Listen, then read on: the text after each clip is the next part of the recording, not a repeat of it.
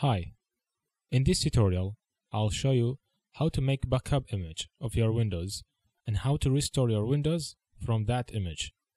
Basically, the same steps applied in Windows 8 or 7 or 10, only the way you access the feature may different. For example, in Windows 10, to access that feature, you type in the search box Windows 7 and here it is backup and restore. Well, in Windows 8 or 8.1, from the start screen, you search for Windows 7 and the search in settings. Click on Windows 7 File Recovery. You will get the same window. However, let's get back to Windows 10. Click on Create a System Image. Where do you want to save the backup? You have three options.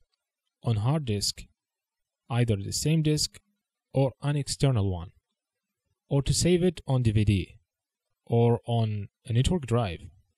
Well, it depends on you. For me, I'll save it on hard disk.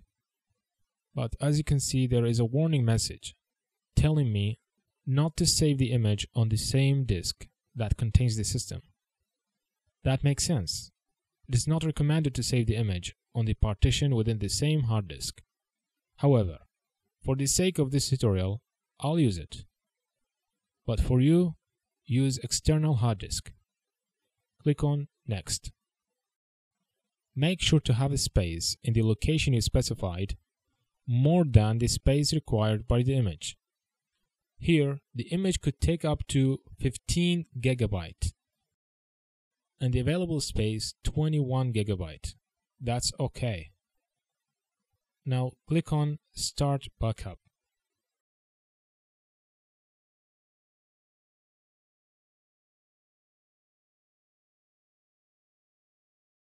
Once the backup completed successfully, a pop-up window asking you to create a system repair disk. Basically, in case if you can't boot into your Windows, this tool will help you to troubleshoot and restore your Windows from that image. It's optional because you can access the repair tools from Windows Installation Media or the Windows itself. If it is unable to find the error, it will show you the repair tools. Close this window. This is how to create an image of your Windows. Now let's assume that my Windows failed to load and the repair tools failed to fix the error. So it just threw the tools and I had to figure it out. To restore the Windows from the created image, click on Troubleshoot. Click on Advanced Options. Click on System Image Recovery.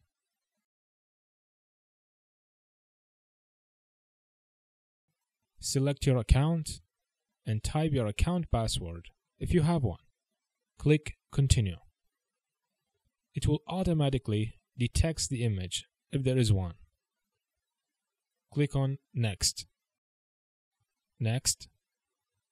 Finish. Click on Yes.